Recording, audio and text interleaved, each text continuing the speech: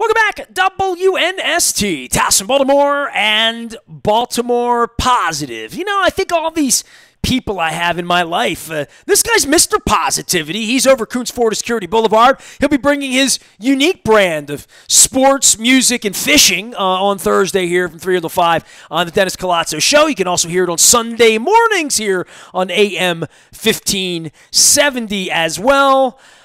You know, I, would love to talk sports with you. We could talk about protests. We could talk about elections. We could talk about all this stuff. But the most important thing is, did you fish this week, right? Yeah, absolutely. Love getting out on the lakes and uh, you meet a lot of great people and great for the mind, great exercise when you when you go around a 30 acre lake a couple of times and uh, look, it's a lot of fun, very therapeutic, right? People do different things for therapy and uh, and uh, you know, I'm a very competitive person, but not when I fish it. I just really enjoy it. Even if I catch nothing, Nestor, uh, I'm catching good vibrations, uh, sunshine. I'm seeing beavers and all kind of different birds and wild wildlife and baby turtles. So it's all really good stuff. Baby turtles, really? Hey, baby turtles. I got a story for you. You want a Baltimore Positives? I, I don't know if I've told you this. Um, Nah, I don't think I told you last week. Maybe I did. My wife and I, one of the nights last week when it was going to rain, is before it got warm we were going to go, we were looking for something to do, anything to do, right? We were just a little stir crazy. And we thought, okay, let's go over. My, my friend uh, at Verde Pizza over at uh, Ed Bosco, right over by Patterson Park, right down the street from the uh, Ukrainian temple, you know, Eastern Avenue, right at Patterson Park. You know what I'm talking about. So we, we, we go over get a pizza. And we, we went into the park and we took the pizza apart and we literally just sat in the park and, and you know, he didn't cut the pizza and we didn't bring a knife, right? And we had a, a, libation. Let's just say we, we needed to have a refreshment with this that we provided. We sat on a park bench.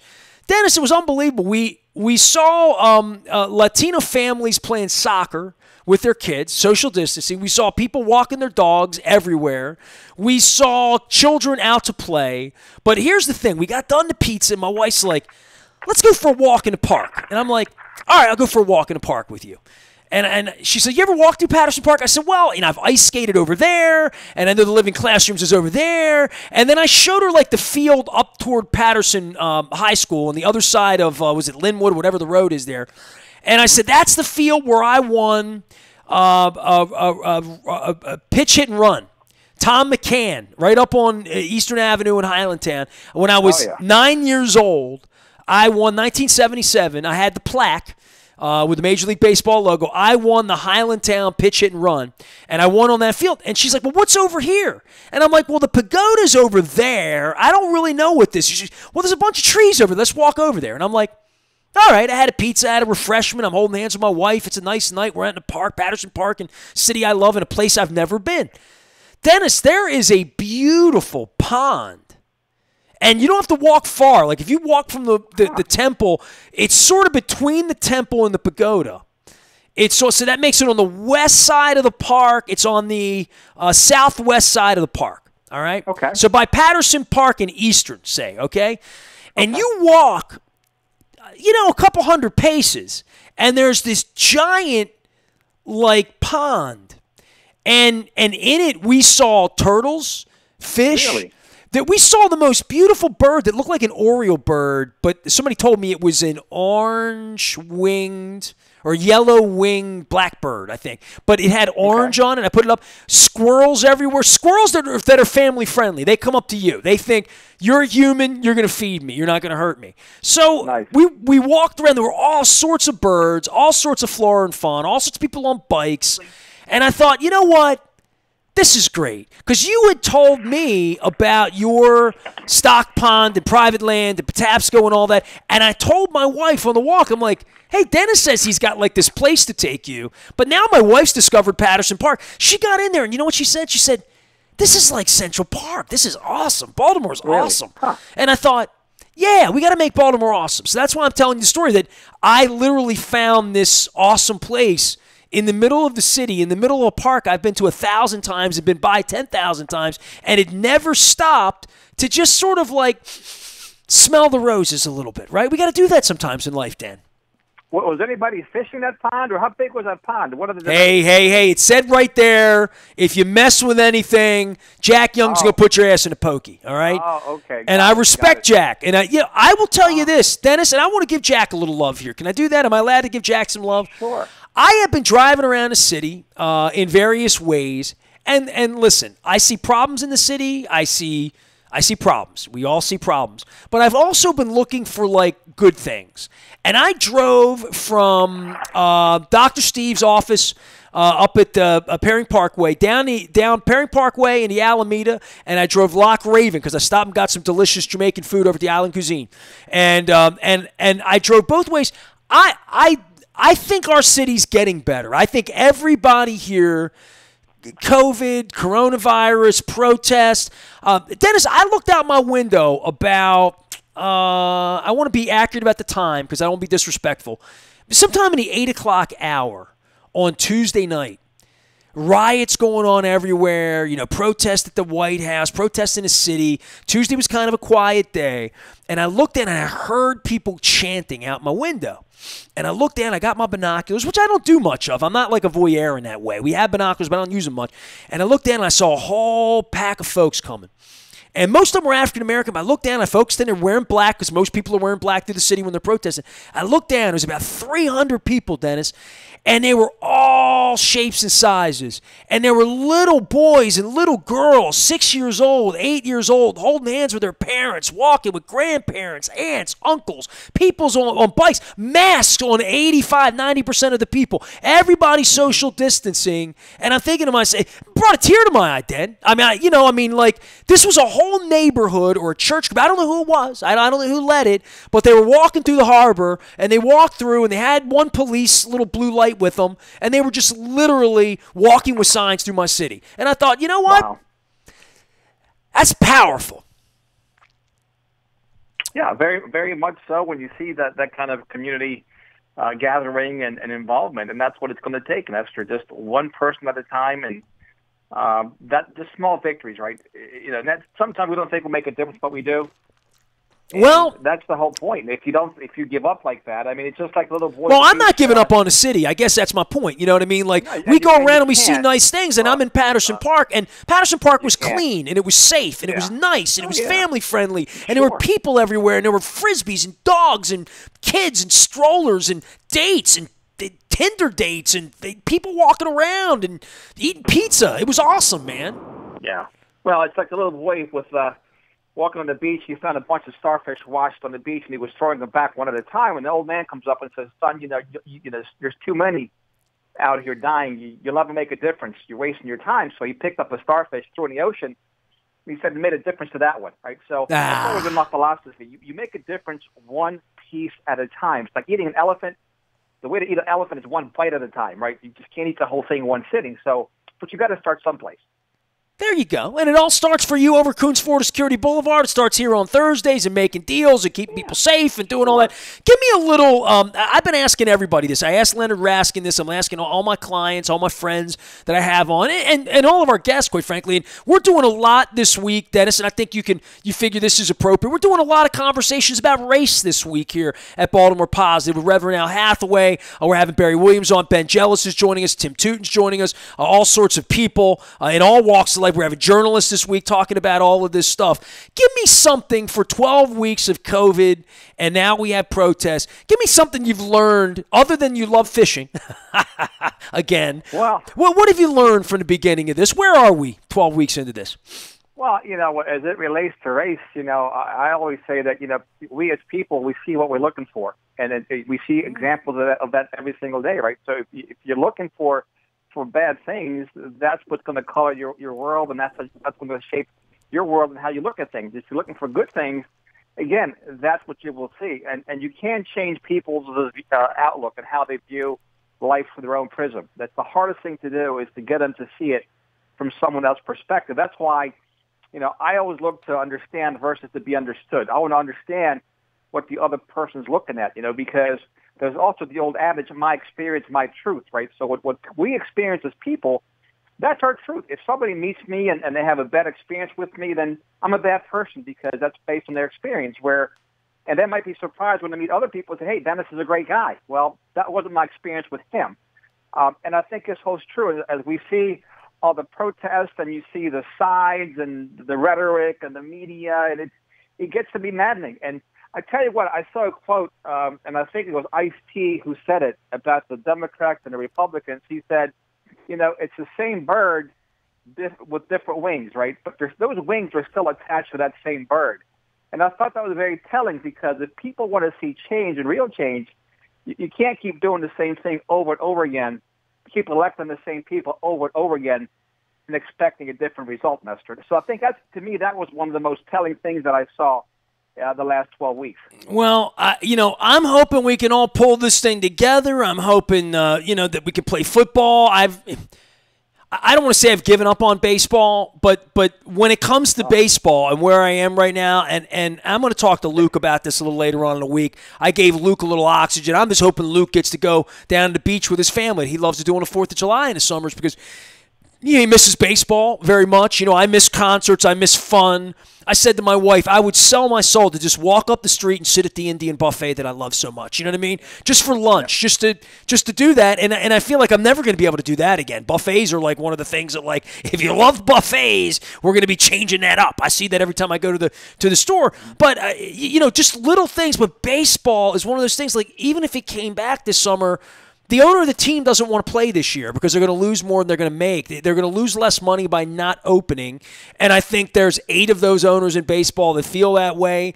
Um, I'm. I don't hear much out of that other than consternation about money, which is all I've heard since 1974. Quite frankly, it's one of the reasons you're not as interested as you should be, being the sports guy you are, East Baltimore, all of that. You know, your business, the things you do.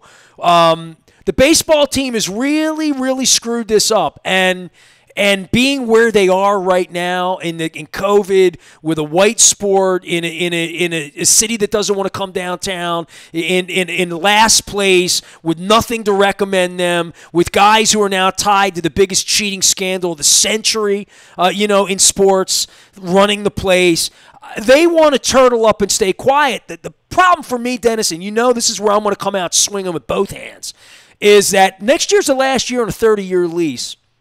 And I don't know that there could be a worse time, right, for the city or the state to be talking about re upping a baseball team. Now, that being said, I don't know who would want them, where they would go, what would happen, but it is a very, very. Um, um, less than permanent situation right now for the Orioles, even though the stadium's beautiful in regard to ownership and everything. And, and, and I really am concerned about that. I really am. I'm concerned in being a city that lost our football team, as you know, when we were kids and you and I fought back to bring that back. I don't know what happens because so much so much of downtown, and you know this, Dennis. I mean, you were a kid, I was a kid. So much of downtown, downtown, its success, its energy, its moya was built around the baseball team. I mean, it really was the glue that put this thing together in the 90s and made this made the city really come back to life in the way that it once was before the riots in 68.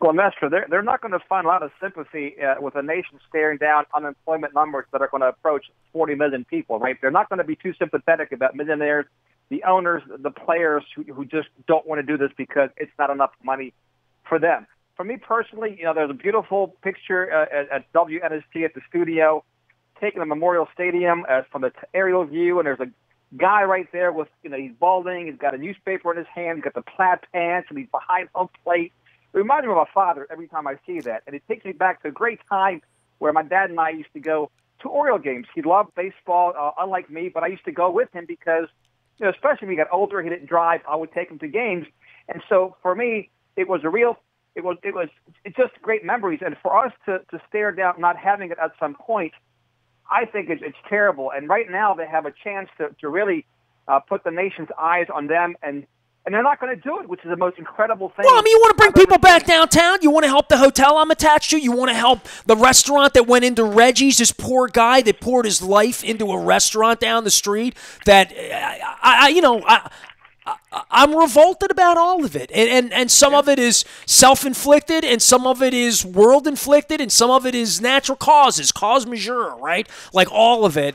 But uh, the only way to get out of this is leadership, right? I mean, literally, the, the reason Koons Ford of Security Boulevard's still there and it's awesome is because people like you have made it that way, and so that people like me would come and buy cars and make it that way, right? Like that that you know, pride and ownership, and that's we all should have pride in Baltimore. We should. I mean, when I walk around and I see turtles and families, and I walk the harbor line and see the beauty of the city, and I walk and see places that used to be beautiful that aren't anymore, that could be again. I'm inspired by all that in the same way that you know, Sig Mejdal would want to take a last place baseball team and try to win, right? Because he said it can't be done. You know, and and uh, they, they, said Baltimore couldn't get a football team. I remember that. You and I spent long stretches of our of our adolescence believing we'd never get a team, right? And now we've had two parades down Pratt Street. No, look at Steve Bisciotti and his family. You know, just gave a, a million dollars, you know, back to the city. We don't see that from the Orioles. We don't see that commitment. We don't see the care, the love. We don't see them doing something for the greater good. And you know, this is why I love the Ravens. This is why I, I, a season ticket holder. This is why I love supporting and buying all the gear. And look, Steve Bisciotti's a good man, and I love the fact he gives back time and time again. Where are the Orioles in all this? What have they given back? You know, every week we get together, and I don't. I mean, there's a reason to talk about the baseball team. They kind of want us to not talk about them. You know what I mean? And I, I saw they put a tweet out. Did you see the tweet from John Angelos on on um, it was, it was on the Orioles. Uh, well, you don't follow okay. the Orioles, so no, you didn't. Tell, tell, me about it. No, I'm going to read it to you. I'm going to go find it because it was on Tuesday night. Because this is topical. I mean, we, they say we don't talk enough sports around here. I'm like, they, these people don't even want to play. You, you, you know, I mean, like, uh, I mean, what if they don't want to play? Why the hell do I want to watch it? Look, if they were playing, would, would we be talking about them? Of course we would. But you got to play. We're talking about we're talking about them as to why they're not playing, why they're not coming together, why they're not doing what's uh, for the greater good, not just for their the, our community, but every community. Uh, the the league, right? Where's the love for the league? Where's the passion? And that also goes to the players too. The greed is a, is a terrible word, and they're all very greedy. Nearly six decades ago, at another low point in our country's ongoing story, I can almost hear. You want me to read this in the Peter voice or the John voice? Because John wrote this, right? I mean, this is John's voice. It's the same thing he said five years ago when he sat in front of City Hall uh, on, you know, with an earpiece on CBS doing a national thing uh, when Dad disappeared and they, they played the game. But this is the organization that, in the middle of all this, can you imagine on Tuesday night the Washington Nationals saying, "Yeah, I know there are riots over at the White House, but we got to get the game in tonight. Let's shut the gate." Yeah. Don't come to the game tonight. We're going to just play baseball tonight while the city's on fire. Can you imagine that happening Monday night? I mean, it, it happened here. I witnessed it. I watched it with my own eyes. Did, did you see the picture of Lamar Jackson in, a, in an Orioles uniform? I with did. A, with a, uh, that is, you know what? That was a wonderful, wonderful look. Why not play on that? Why not capitalize on that? But then again, this is the same organization that, that dishonored the Ravens uh, in 2012 when they won a Super Bowl by not allowing them to open up their season, you know, at, at, Camden Yards in that area, right?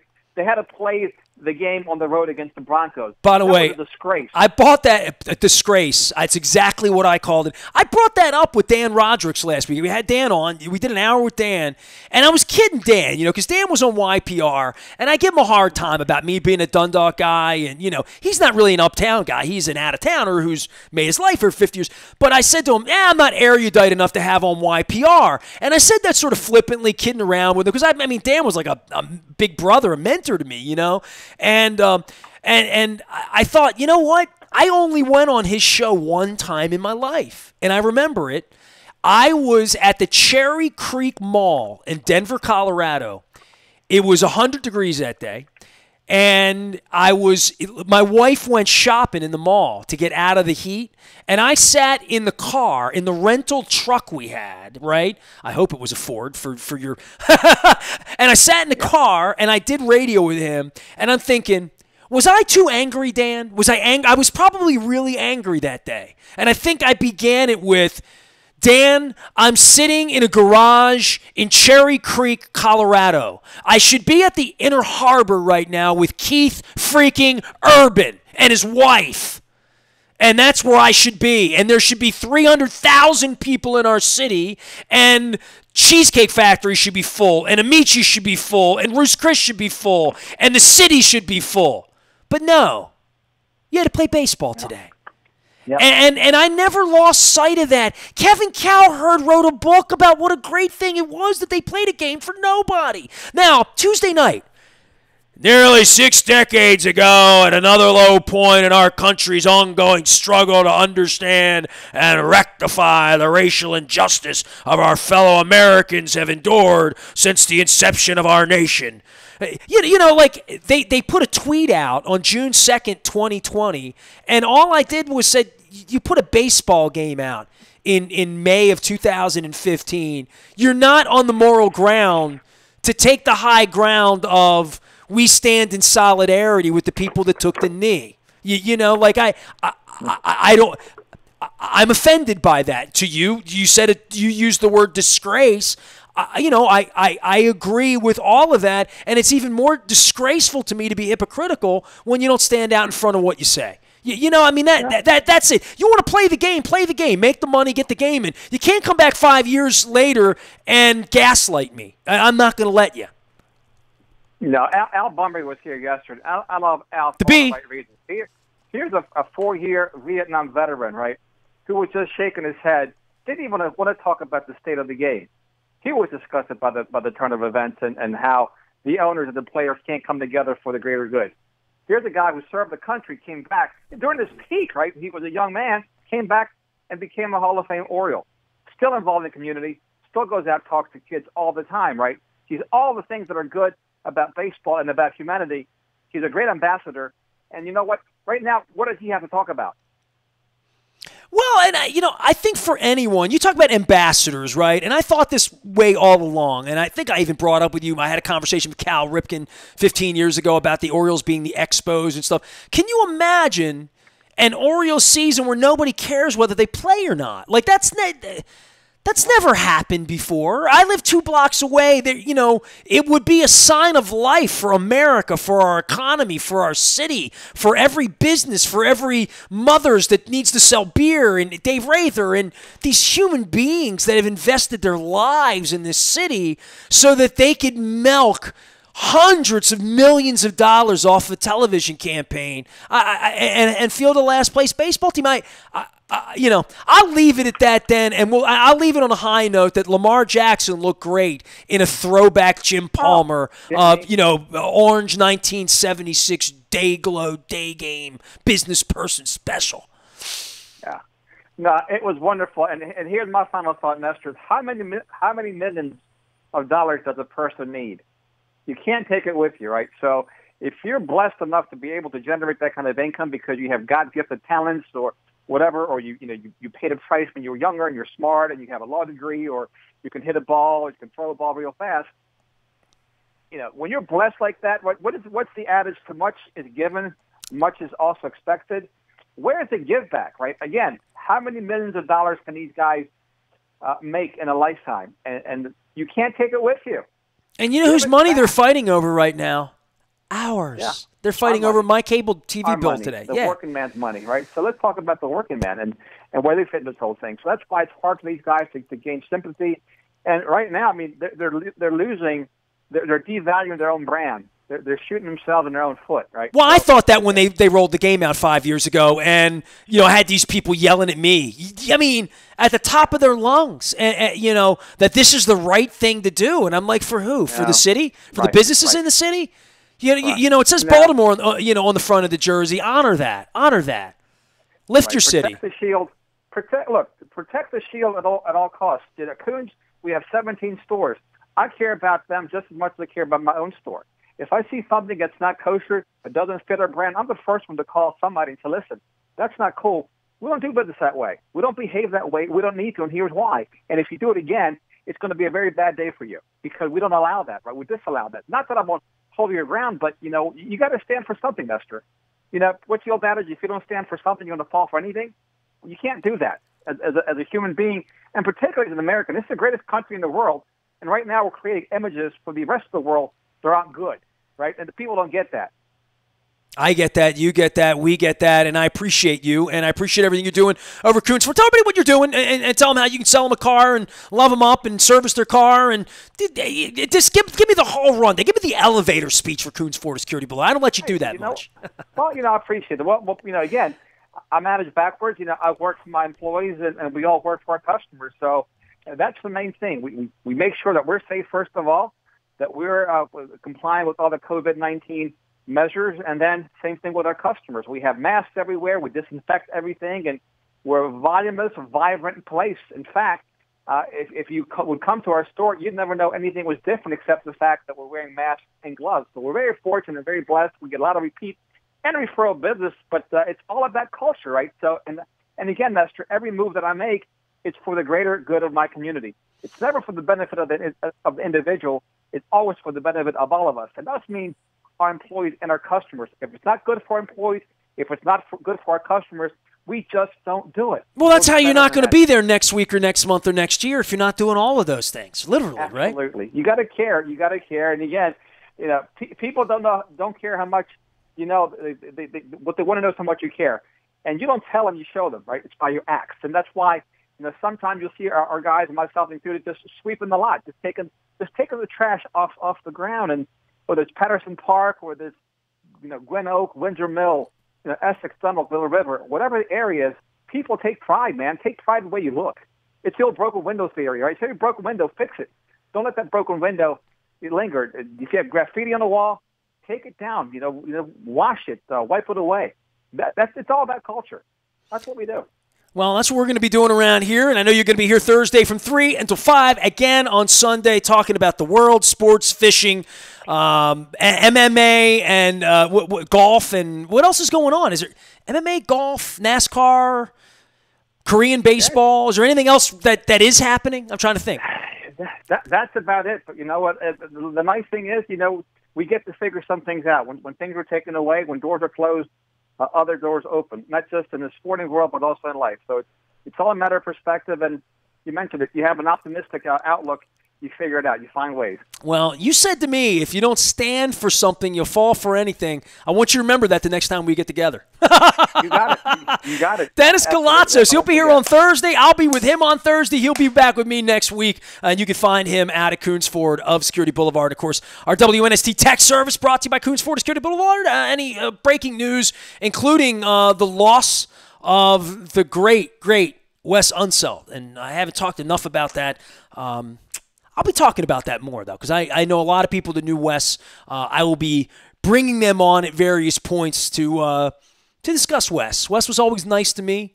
Um, and of course, Wes lived right in the shadow of Koons Ford Security Boulevard on the west side of town, uh, over to Catonsville, Woodlawn area. So, uh, yeah, yeah, Wes was always good with me. Last time I saw Wes, I had a microphone in my hand uh, on the floor at the Baltimore Civic Center, the Royal Farms Arena, for the Wizards, New Orleans Pelicans uh, preseason tussle a couple of years ago. And uh, I interviewed him on the big screen. I said to my wife, I got a picture of me and Wes that night. And I, I think I took a picture with him. I just can't find it. But uh, that would be the only picture I have of Wes. My dad loved Wes. I loved Wes in the early 70s. Beating up on Golden State and Rick Barry and beating up on the Seattle Supersonics. Gus, the whole deal. The Big E. Love it. Dave Bing. Look that one up. Nasty at WNST.net. Stay calm, always local, and always Baltimore positive.